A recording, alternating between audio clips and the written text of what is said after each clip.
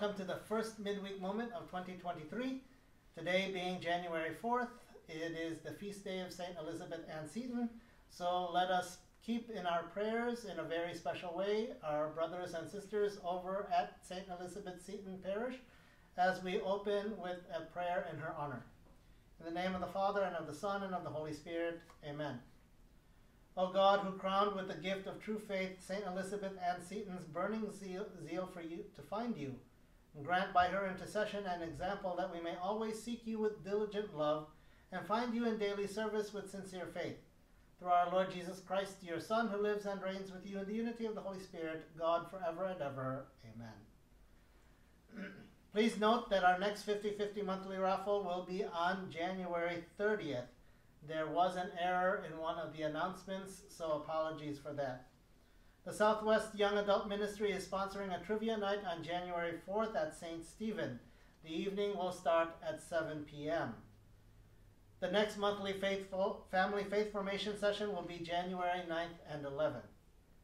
Sacred Journey Youth Ministry, again, there is still time for teens to sign up for the Kentucky mission trip in June.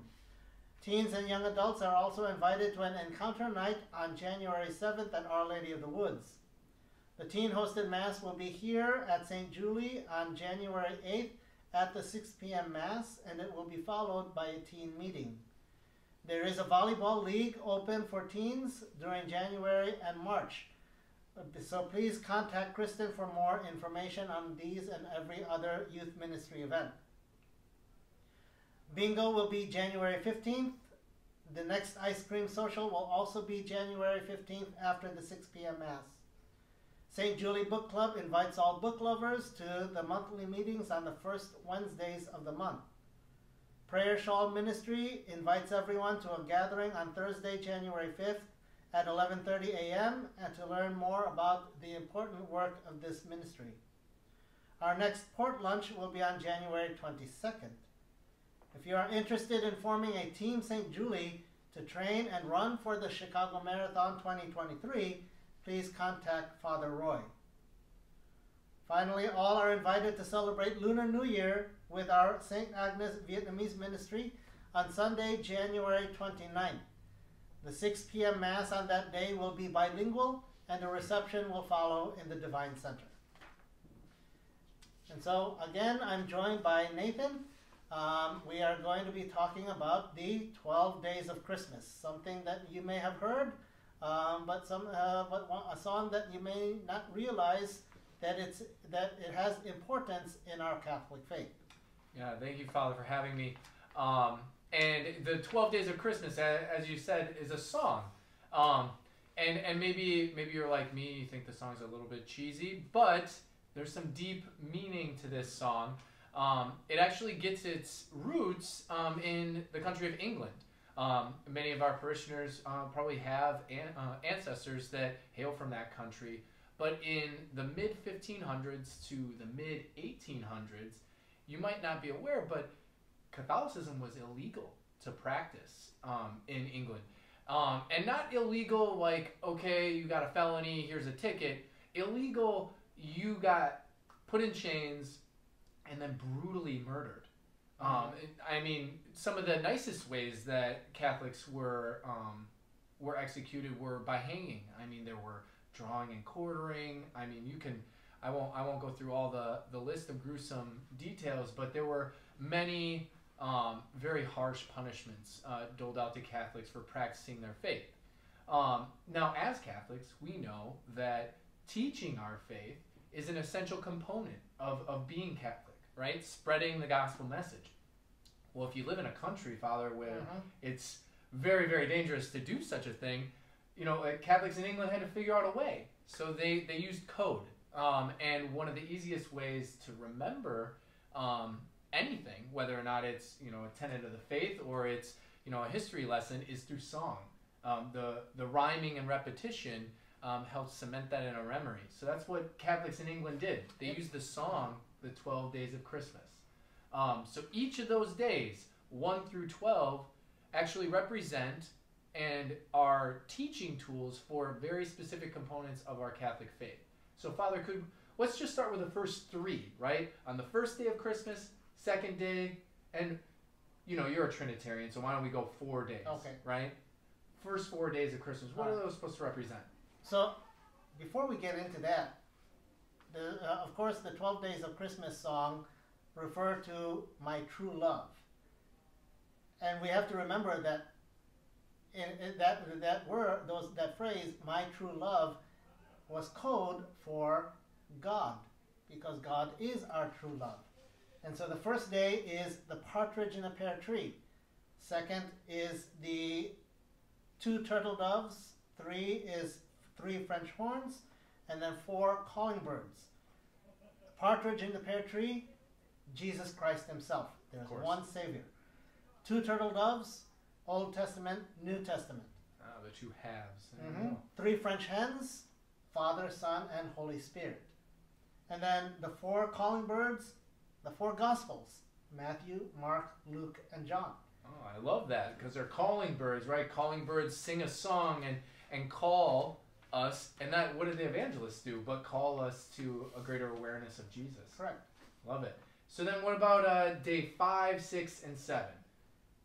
Five are the five gold rings, stand uh, representing the Pentateuch. For those of you who do not know what the Pentateuch is, or the Torah, it's the first five books of the Old Testament. The first five books of the Old Testament were, are, have been and still are very important to our Jewish brothers and sisters, and it's a recognition that our roots still are still find themselves in the Jewish tradition.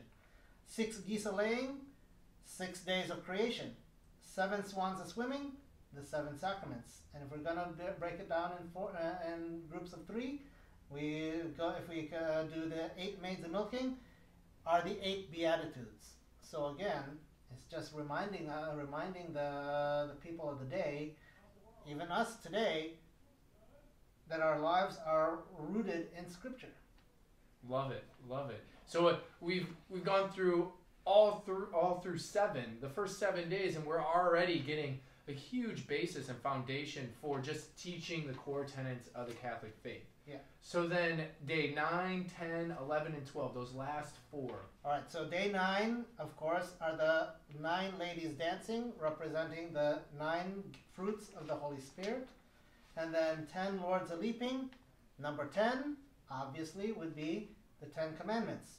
And then 11 are 11 pipers piping, representing the 11 faithful disciples. So, of course, we know that Judas Iscariot became traitor, and so he fell away but 11 of them remained faithful. So that's uh, they are represented by the 11 pipers piping.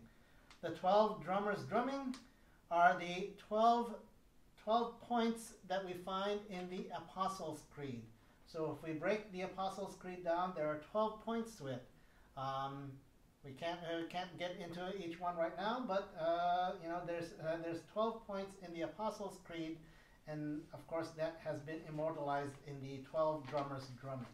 And with those 12 points, if that is something that you'd be interested in hearing more about, in future midweek moments, perhaps we'll go over in greater detail those 12 points of the Apostles' Creed.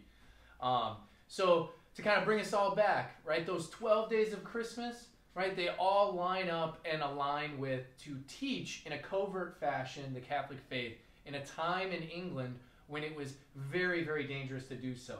You know, and early Christians were, were secret agents you know and we we luckily enough live in a time where we don't have to be a secret agent Yep. to teach the faith so um, let it be a challenge to us in these last few days of the christmas season and then heading into ordinary time to teach the faith right? Loud and proud um, to, to anyone we meet. And uh, before we end, of course, the 12 days of Christmas refer to the 12 days between December 25th and January 6th. January 6th had been had traditionally been the feast of the Epiphany, and so of course it would move uh, would move from depending day to day depending on what year what what day of the of the week it fell on a, in a particular year. So the 12 days of Christmas are Chris between tw- December 25th and January 6th. And so it reminds us that for us as Catholics, Christmas is not just one day, but it's an entire season. for here for us now here in this part of the world, we transfer we have transferred the feast of the Epiphany from January 6th to the closest Sunday, and so it, but it continues that idea that Christmas is a season, not just one day, and so we are still very much in the Christmas spirit as Catholics. So let us remember that. And, and before we close, let us also remember in our prayers the soul of Pope Benedict XVI as we will witness his burial tomorrow um, in Rome. And so let us close with a prayer. In the name of the Father, and of the Son, and of the Holy Spirit, amen. O God, who through, who through the fruitful virginity of Blessed Mary bestowed on the human race the grace of eternal salvation, Grant, we pray, that we may experience the intercession of her, through whom we were found worthy to receive the author of life, our Lord Jesus Christ, your Son, who lives and reigns with you in the unity of the Holy Spirit, God forever and ever. Amen. And for the repose of the soul of Pope Benedict, eternal rest grant unto him, O Lord, and let perpetual light shine upon him. May he rest in peace. Amen. May his soul and the souls of all the faithful departed through the mercy of God rest in peace. Amen. In the name of the Father, the Son, and the Holy Spirit. Amen.